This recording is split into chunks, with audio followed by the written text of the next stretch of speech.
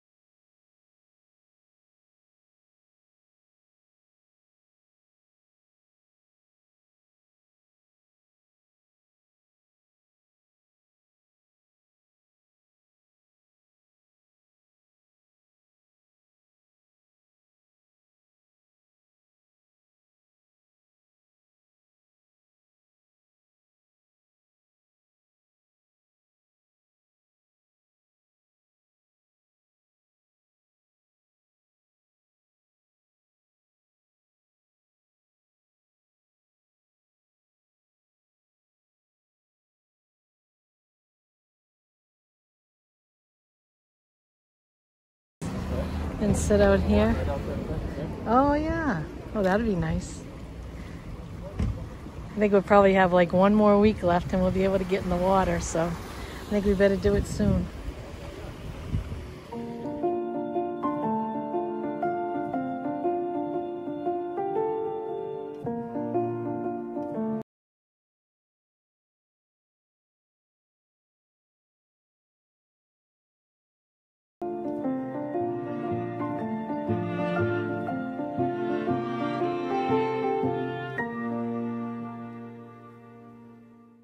It's up here. Oh, we're gonna go by that restaurant that we were talking about that Luke and Antonio recommended. So maybe we'll have to try it out.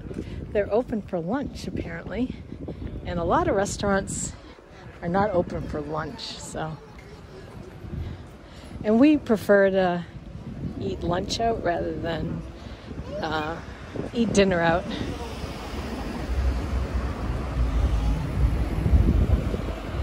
but it's really, really beautiful fall day.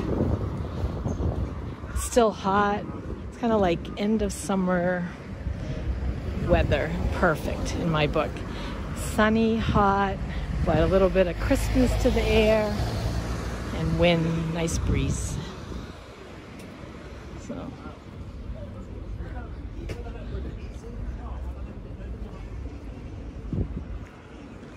it's interesting.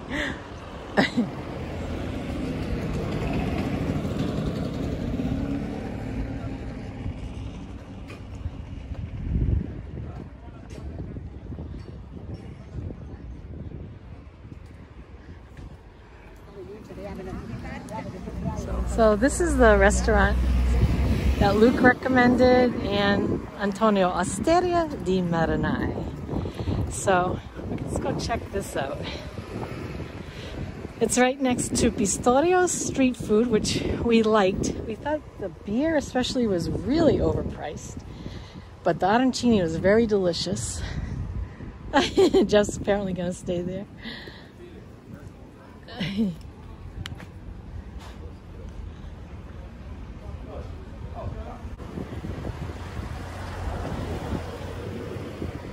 don't know if they have a menu.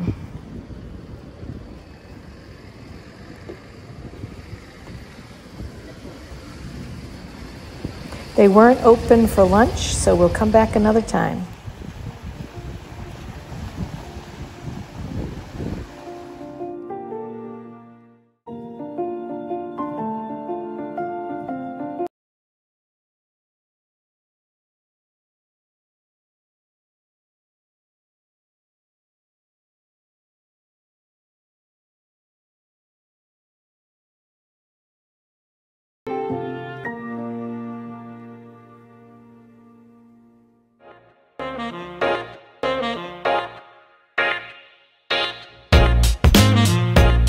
Of the things that I found out about when I went to buy the guanciale, instead of buying it in a big chunk, um, by mistake, I asked for him to slice it and we actually found we like it better that way. And I thought Americans could relate better because you would be using pancetta because we can't get guanciale in the United States um, or bacon and it would be more of this style. And by just chopping it up like that, I think it worked out really great. So um, after the pasta is almost done, I like to finish it right in the, the pan.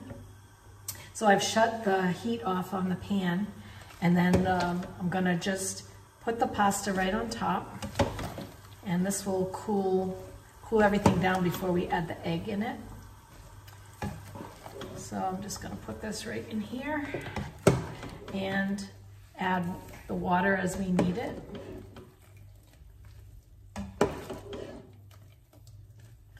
Because if we just put the egg right into the pan, it will curdle because it's not tempered yet.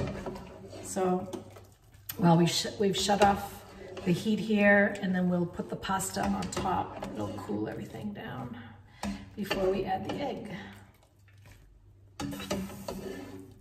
And just leave your pasta water there because we'll probably be using some of it. I like to do it this way rather than dumping, uh, you know, straining it with a colander because I like the water. I like to add the water and I like to have it right handy as I need it. So I just take my time fishing, fishing out the pasta. In the meantime, it's cooling everything down so that the egg will not curdle and make little lumps. We don't want cooked egg. So, I think I got, I think I got it all. Egg. I had four eggs and one yolk, some, a lot of pepper and some cheese. And I'm just going to put it right on top of the pasta and cool it. This will temper it without getting down into the pan. So I don't know if, this is the correct way of doing it, this is how I do it so that the, it doesn't cook the egg yet.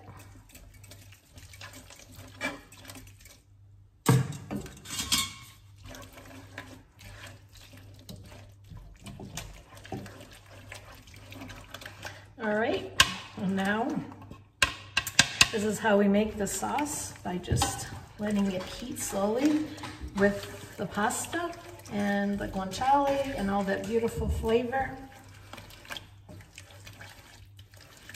And then as it tempers, I'm gonna turn the heat up just a little bit.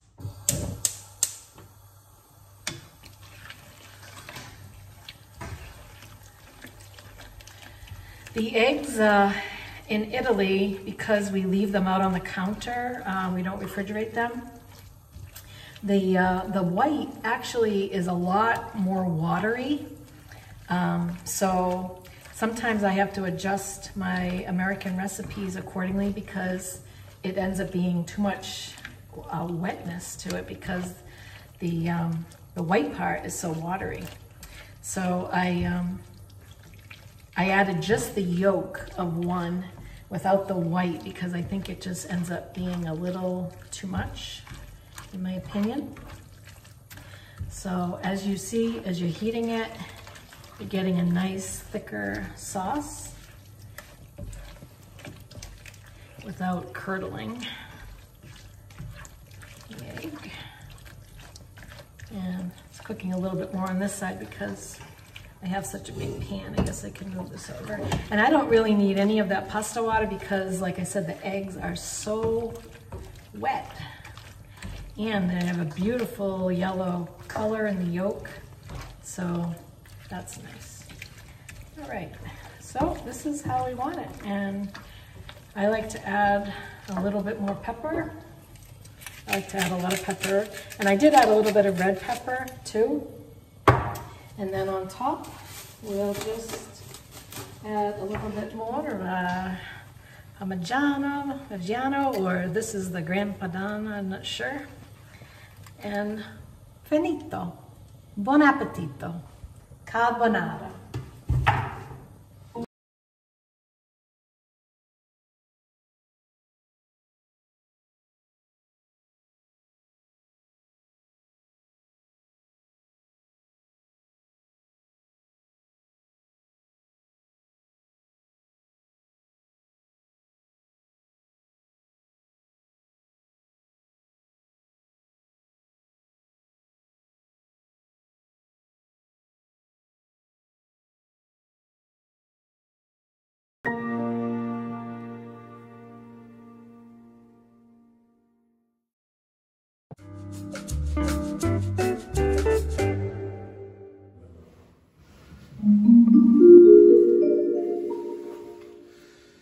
You're my love, you're my angel, you're the girl of my dreams.